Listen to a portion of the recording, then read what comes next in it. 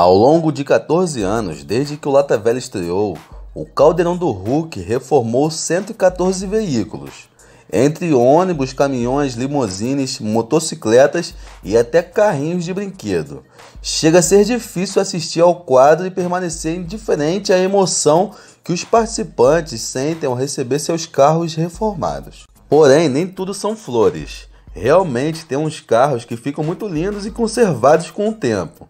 Mas também há aqueles que, seja por falta de cuidado ou defeitos na própria reforma do programa, hoje em dia os carros já não estão mais belos assim. Pensando nisso, nós aqui do canal Diogando decidimos trazer esse vídeo relembrando alguns veículos que fizeram história no Lata Velha e como alguns deles estão recentemente.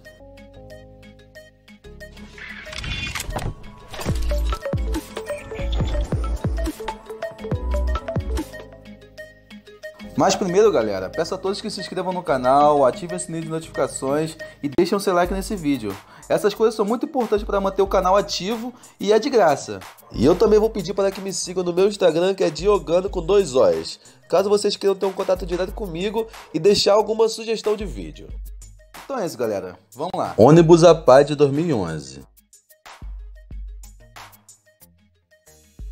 Em 2011, o Caldeirão do Hulk reformou um ônibus da Associação de Pais e Amigos dos Excepcionais, a APAI de Montes Claros, em Minas Gerais.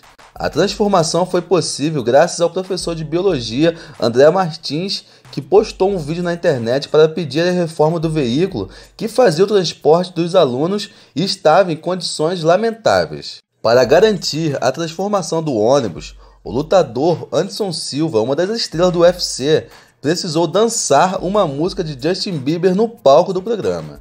E não é que ele mandou bem?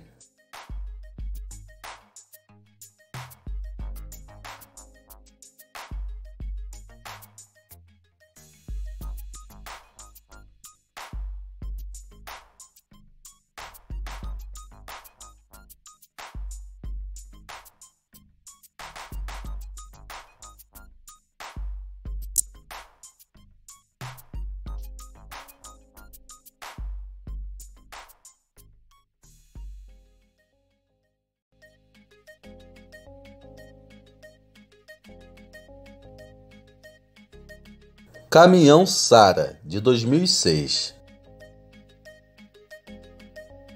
Em 2006 foi a vez de Sara Morim ter o veículo reformado pelo Lata Velha.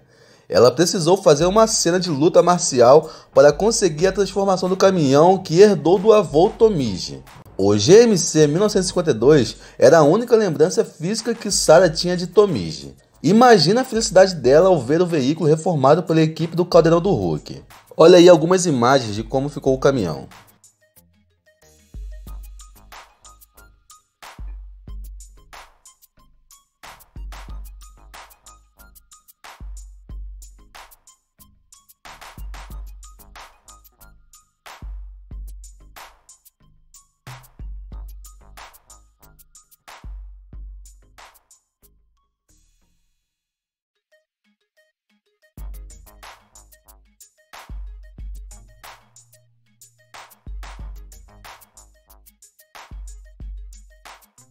Spa de cobras. Em 2008, o apresentador Luciano Huck entregou ao uruguaio Javier uma Kombi de tatuagem reformada. O tatuador que cantou e interpretou no palco do programa a música Live La Vida Louca, de Rick Martin, conseguiu com isso uma oportunidade para ganhar a vida no país. Mas a sorte de ter sido contemplado pela atração da Globo não ajudou no sucesso do negócio.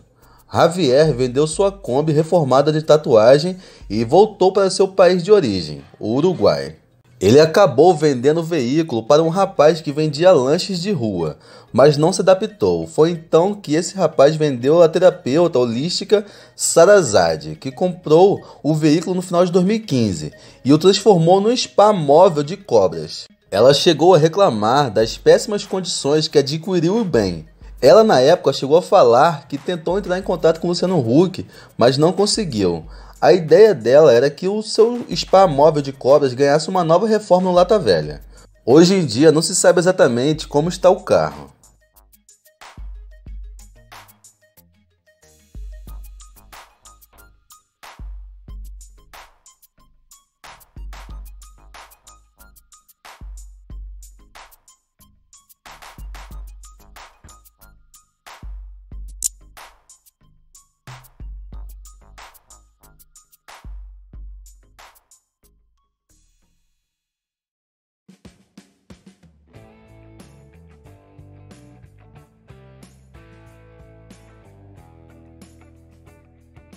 McLaren do Raimundo, em 2008.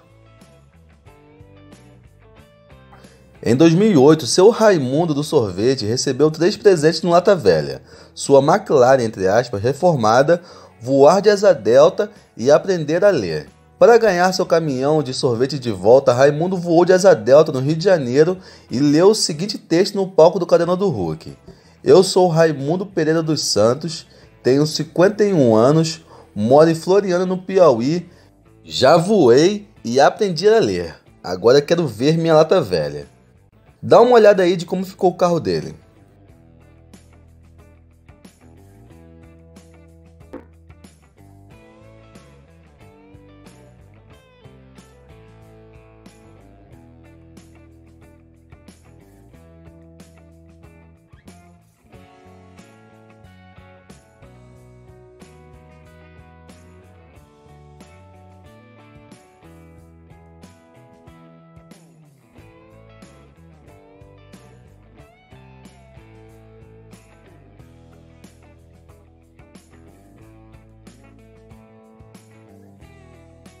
Maverick do lutador Wagner Prado. O ano de 2009 foi inesquecível para o campineiro Wagner Prado, então com 22 anos. Era um lutador que sofria para conseguir iniciar a carreira no MMA com falta de patrocínios e não via quem apostasse em seu potencial. Tinha apenas duas lutas. O interiorano se inscreveu para pedir uma reforma em seu Maverick, para isso, até dançou vestido de drag queen em uma das tarefas. Mas segundo ele, em 2013, seu carro já não era mais o mesmo.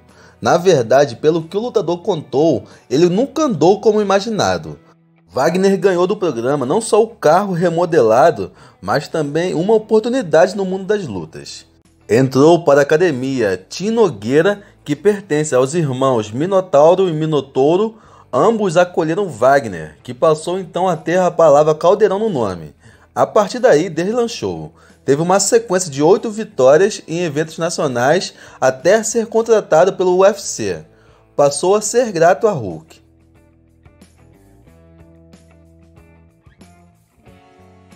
Em relação ao carro, ele chegou a falar: Cara, o Maverick é um caso assim. Como eu posso falar? Não ficou do jeito que todo mundo esperava.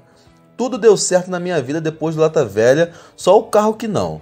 Ele ficou lindo, como todo mundo viu no programa e nas fotos, mas andando não ficou daquele jeito não. Pra andar não está legal. Vou até mandar um Twitter para ele, Luciano Huck falando. Ele chegou a completar dizendo: O carro não andou uns 50 km, mas está bom, não vou reclamar da vida não. O motor e a suspensão dele estão ruins. Passa no caroço de azeitona e parece que vai cair. Todas as vezes que eu andei com ele, teve que voltar de guincho.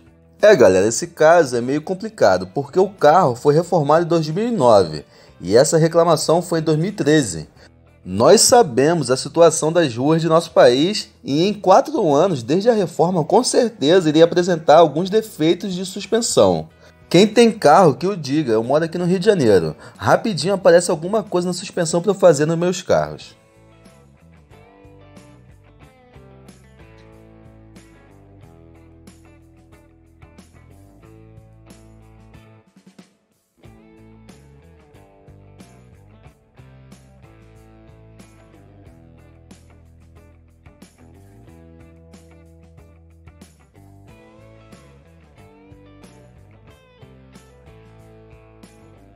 Limosine Fernandes, em 2006.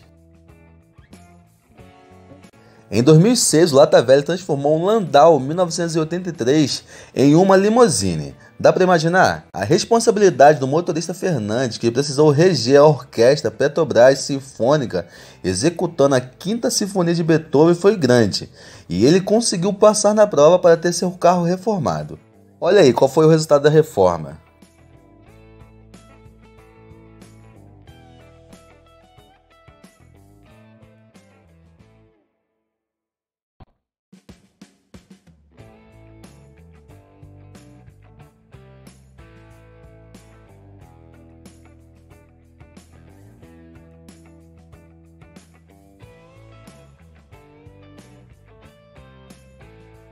Logos do Luizinho.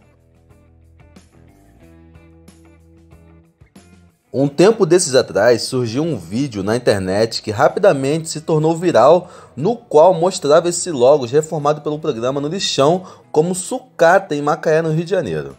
O ex-dono Luizinho chegou até dar uma entrevista na internet dizendo que mudaram tudo no carro, incluindo placa, chassi, motor, e com o tempo o carro foi dando vários problemas. Depois ele acabou trocando o carro com um mecânico. Porém, talvez dessa troca, o carro foi acumulando IPVA, multas e não valia mais a pena usar até chegar no estado que chegou. Olha só o vídeo.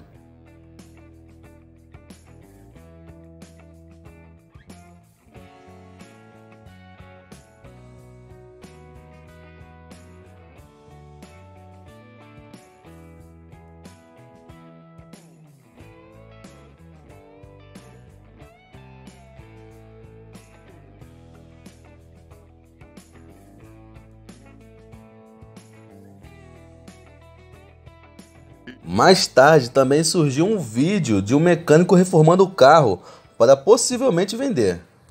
Hoje em dia não se sabe como o carro está. Puma conversível da Márcia em 2006.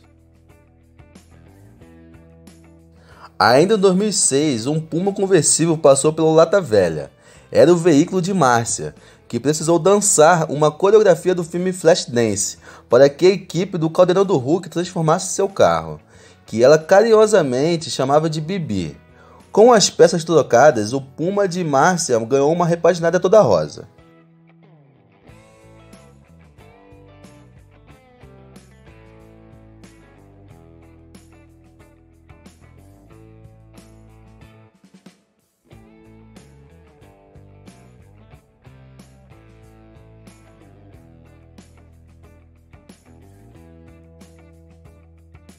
Então é isso, galera. Gostaram de relembrar esses carros que foram reformados no Lata Velha? Lembra de mais algum que foi muito marcante ou que vocês viram em alguma matéria na internet que o carro já não está mais aquilo que ficou no dia da reforma? Me contem nos comentários que talvez se vocês deixarem bastante likes nesse vídeo eu faça uma parte 2. Fiquem à vontade para compartilhar esse vídeo com todos. Não esqueça de se inscrever no canal e deixar seu gostei nesse vídeo. Até a próxima. Fui!